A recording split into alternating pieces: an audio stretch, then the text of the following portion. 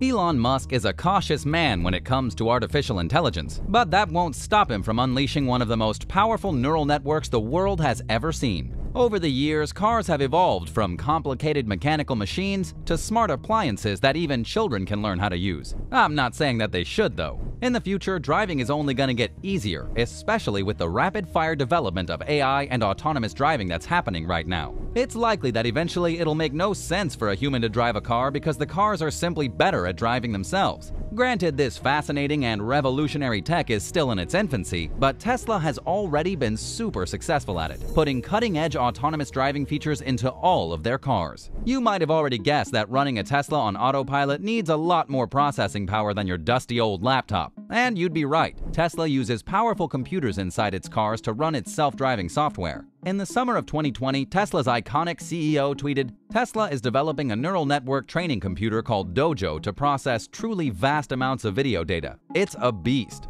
Just recently, Tesla's director of AI, Andrej Karpathy, casually revealed a new supercomputer that Tesla will use until the neural network Dojo is up and running. Tesla believes that their new computer, which mind you is just a precursor for Dojo, is the fifth most powerful supercomputer in the world in terms of floating point operations per second. According to Andrej, the cluster sports 720 nodes, each powered by 8 of NVIDIA's 80GB model A100 GPUs for a jaw-dropping 5,760 A100s throughout the system. This accelerator firepower is complemented by 10 petabytes of hot tier NVMe storage, which has a transfer rate of 1.6 terabytes per second. You'll be glad to know that one of those bad boys is made up of 1,024 terabytes. This is some serious processing power. It's starting to sound a bit like Skynet. And remember, this isn't even its final form. Just how powerful will Dojo be? If you're wondering why Tesla needs a crazy expensive and powerful supercomputer, it'll all make sense in a minute. You may already know that Tesla uses an advanced driver assistance system called Autopilot.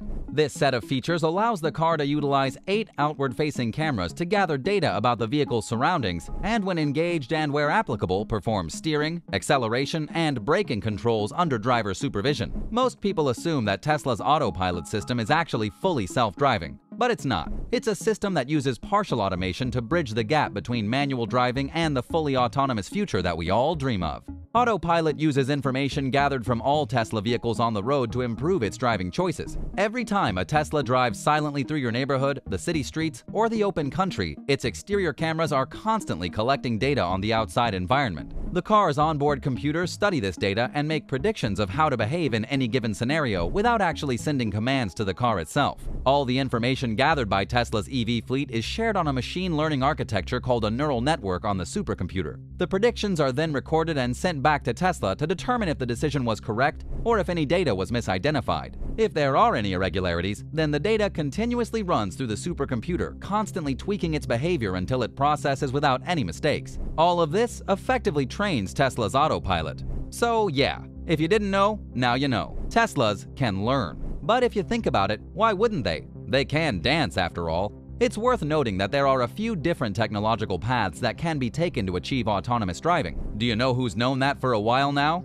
Tesla's competitors. Some of them make use of remote sensing methods like light detection and ranging, or LiDAR, while others use radar-based sensors to help pick out hard-to-see obstacles on the road. A combination of both technologies with cameras involved as well is also a growing favorite among autonomous tech makers. It's no secret that they haven't been quite as successful as the EV giant that is Tesla. But then again, who has? Typical of Elon Musk, Tesla took a very I'm going to do my own thing and do it much better attitude toward its autonomous driving system.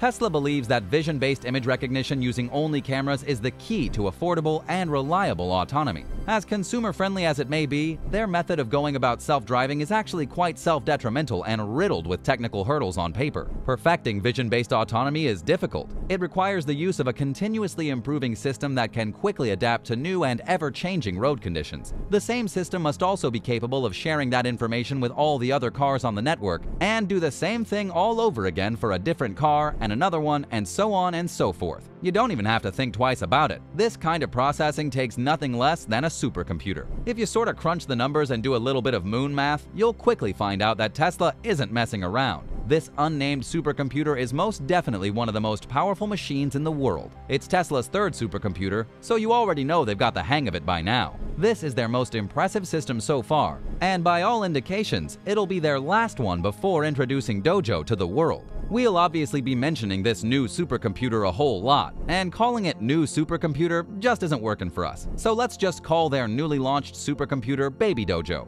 Because, well, Tesla hasn't given us its name yet, and why not? That said, Baby Dojo will be used to train both Tesla's patented autopilot and its full self-driving or FSD AI. Speaking at the Computer Vision and Pattern Recognition Conference 2021, which is basically Comic-Con for AI enthusiasts, Andrej stated that computer vision is the bread and butter of Tesla's AI team, and it's what enables the highly acclaimed autopilot system. For the computer to work well, a massive data set is needed, data which is conveniently collected from the ever-expanding fleet of Teslas on our roads. That's not all though since you also need to train massive neural networks and experiment a whole lot before you can get the autopilot to work just right. I'll bet you don't think of all that when you turn on the autopilot to impress your friends or terrify your parents, huh? Tesla uses its neural networks to label the 4D video data it receives from the cameras fitted in its cars. This data is then used to train the software to enable autonomous navigation using its cameras and radar. However, in May 2021, Tesla moved to a completely camera-based system and dropped the radar sensor in its Model 3 and Model Y cars. We're pretty sure it's obvious by now, but if you hadn't caught on yet, Tesla's long-term goal is to build autonomous cars with better navigation skills than the average human. During his presentation at the conference, Tesla's senior director of AI showed the audience a slide of a photoshopped brain in the driver's seat of a speeding car,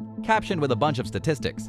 The stats characterized humans as meat computers with a 250 millisecond reaction latency and a tight control loop with one-ton objects at 80 miles per hour. According to Andrej, for Tesla, full self-driving is about replacing that sluggish computer with a safer and faster one, and Baby Dojo is the latest step in that direction.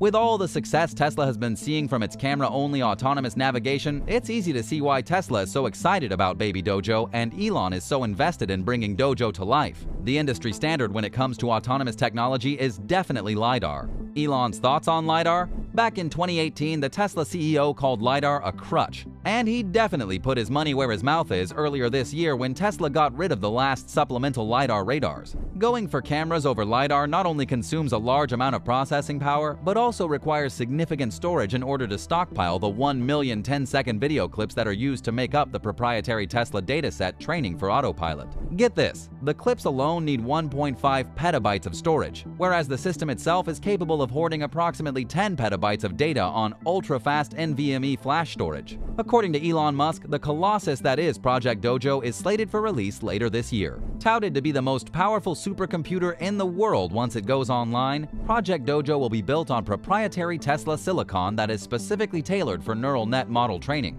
Dojo's computer architecture will also be built and designed in-house by Tesla. Since Baby Dojo uses NVIDIA-based GPUs, it doesn't appear to be linked to Project Dojo. Tesla has done a great job at keeping its work under wraps, and to this day we know very little about the specifics of Project Dojo. But if its predecessor Baby Dojo here is anything to go by, we're gonna see one hell of a supercomputer by one hell of an EV company. How close do you think we are to having fully self-driving cars on our roads? Let us know all of this and more down in the comments below, and don't forget to like the video and subscribe to our channel if you haven't already.